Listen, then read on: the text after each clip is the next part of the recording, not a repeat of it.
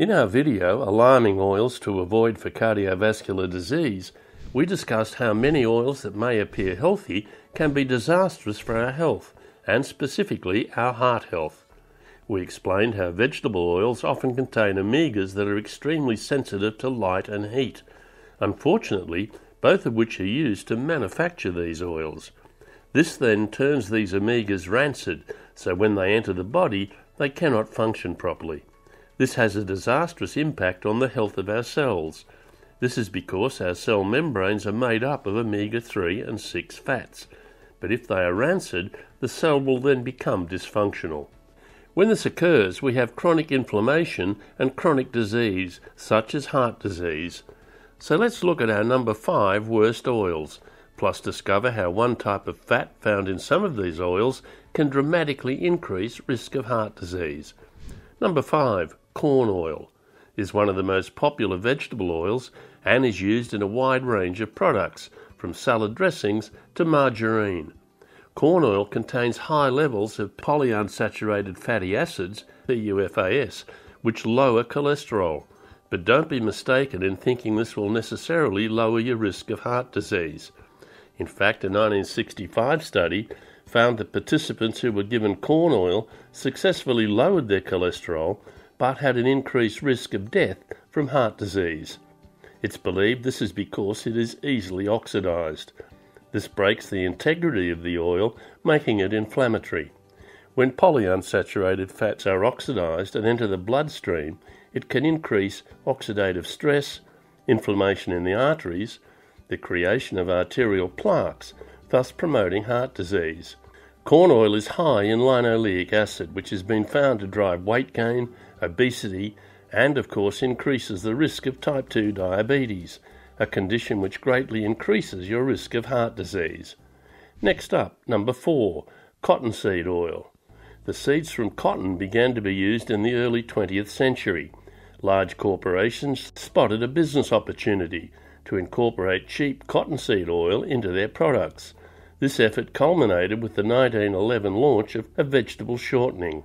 This soon became the chief of the vegetable oils and replaced lard in many kitchens across America. But unfortunately, oil from the seeds of cotton is mostly polyunsaturated fatty acids, PUFAS. As we've already discussed, these are very unstable. That means the fat oxidizes when exposed to light and heat. Thus, the majority of the oil goes rancid before you even buy it. The manufacturers knew this, so to make it more heat stable, they hydrogenated the polyunsaturated fatty acids, PUFAS, in cottonseed oil. This is a process where hydrogen is added to the oil to make it more solid at room temperature. But this is problematic, as hydrogenated or partially hydrogenated oils contain trans fatty acids. Trans fats have been found to be highly hazardous for health. The extent of this is that the World Health Organization asks governments to remove them from the international food supply.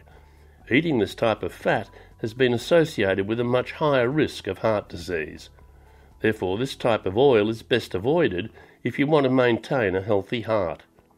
Next up, an oil which became one of the main sources of vegetable oil in the 1960s. It's a plant that was first recorded in ancient Egypt Number three, safflower oil. This is often touted as a healthy oil, but it has more linoleic acid, an inflammatory and easily spoiled polyunsaturated fatty acids, than any other oil on the market. The refining of this oil is much like the other oils inasmuch as it is exposed to light and heat, which turns the omega fatty acids found in it rancid. A 2012 review of randomized controlled trials found that linoleic acid, the main component of safflower oil, increased inflammation. Plus, a 2013 study on safflower oil found that when it replaced animal fat, the following increased weight, risk of cardiovascular disease, and risk of death from all causes. Now for our number two, an oil which the US alone uses 18 billion pounds of annually. But first, would you like this video and subscribe to my channel?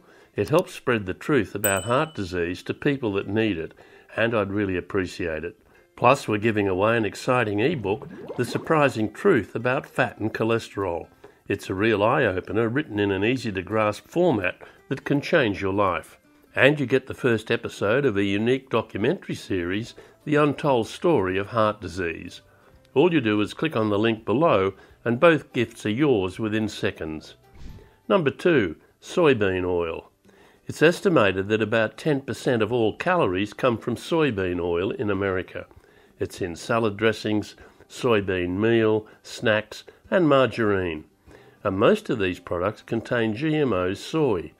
It's also made up of 50% linoleic acid, which we now know is highly inflammatory when exposed to heat and light. Furthermore, soy is high in phytic acid and trypsin inhibitors. This means that it prevents the absorption of vitamins, minerals, and proteins. A research paper published in January 2020 concluded soybean oil not only leads to obesity and diabetes, but could also affect neurological conditions like autism, Alzheimer's disease, anxiety, and depression. Both obesity and diabetes significantly increase the risk of heart disease. Thus, not consuming soybean oil could help reduce risk of heart disease. Now let's unveil the number one worst oil for cardiovascular disease. Number one, canola oil. This type of oil has been touted as healthy and is a firm favourite for many health loving individuals. But is this oil supporting our well being as many believe? The sad news is that this oil is made from a genetically modified plant. It was developed in the 1960s in order to make rapeseed a safe crop to consume. 80% of canola plants grown in Canada, the number one producer of canola, are genetically modified to withstand the treatment of herbicides. Currently, it's the third most produced oil in the world, after palm and soybean oil. In order to extract the oils, solvents such as hexane are used as the seeds are boiled. The oil is then degummed, removing lipids, neutralized, bleached, and the waxes are removed. After these steps, it's deodorized, a process which creates trans fats. As we already mentioned, trans fats are highly dangerous. Finally, synthetic antioxidants are added to the oil.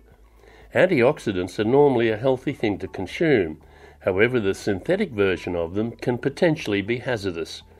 They're added because the oil naturally goes rancid very quickly.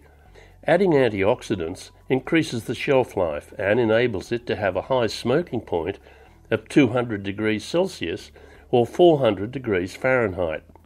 So, how is this oil dangerous to consume? As I already mentioned, the deodorizing process creates trans fats in this oil.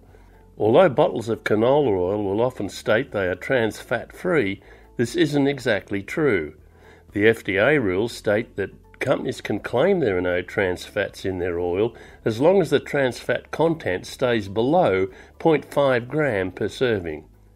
One study published in the Journal of Agricultural and Food Chemistry found that refined canola oil contains around 0.6% of trans fatty acids.